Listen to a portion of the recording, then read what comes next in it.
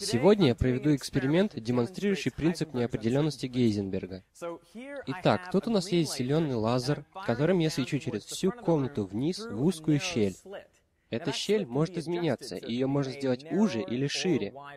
А пятно лазера проецируется на экране за щелью. Так что же произойдет пятном на экране, если я буду сужать щель? Давайте посмотрим. Вы видите именно то, что и ожидали. Пятно становится все уже и уже, стороны отрезаются щели. Да, это логично. И если остановить вот здесь, то вы ни за что не догадаетесь, что принцип неопределенности Гейзенберга уже работает.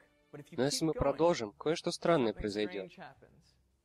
Когда мы делаем щель еще уже, пятно начинает расплываться. Это ли не удивительно? Мы делаем щель уже, а пятно на стене становится шире. И чем больше мы сужаем щель, тем шире становится пятно. Чтобы понять это, давайте посмотрим на принцип неопределенности Гейзенберга. Принцип неопределенности Гейзенберга обычно записывается как дельта x, дельта p больше либо равно h на 4p. И что это значит? Это связано с позицией и импульсом частицы, где x — это позиция частицы, а p — это импульс. Значит, дельта x — это неопределенность позиции, а дельта p — это неопределенность импульса. Если вы перемножите эти две величины вместе, то они всегда должны быть больше или равны h на 4p, где h — постоянная планка, и она заслуживает отдельное видео, как сделали в 60 Symbols. Но для наших вычислений это просто очень маленькое число. В обычной жизни мы не встречаемся с этой неопределенностью, потому что все намного-много больше, чем h. Итак, сужая щель, мы уменьшаем дельта x для фотонов. И мы можем более точно сказать, где фотоны будут проходить сквозь эту щель. И в некоторый момент мы придем к этой границе. Если мы продолжим сужать щель, то мы нарушим эту неопределенность. И чтобы этого не произошло, неопределенности в импульсе придется увеличиваться. Нужно уточнить, что неопределенность импульса идет вдоль оси x по горизонтали. То есть, если раньше фотоны шли прямо, то теперь они должны поворачивать влево и вправо, чтобы мы не нарушили принцип неопределенности Гейзенберга.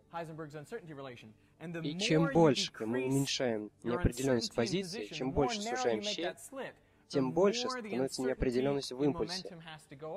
Поэтому, когда фотоны расходятся направо и налево, они делают намного более широкий луч. Это очень и очень нелогично, но так работает мир. Сегодня... what about, here's really going to test you, right? I don't know. Uh, tell me about what's on that card. Well, this is before you put it up. only a few blocks from here. So what do you expect that we'll see on the distance? in October 1831. I've got to say a big thank you to Professor Walter Lewin at MIT. He inspired me to make this video. And I also have to say a big thanks to the University of Sydney for letting me use their equipment, and especially to uh, Tom and Ralph for helping me set this all up. Oh, and just one more thing. I should point out that this explanation of the experiment is slightly controversial. At least in that Henry from Minute Physics and I have been debating whether it's really that counterintuitive. I mean, if you see light as a wave, then all light is doing here is diffracting.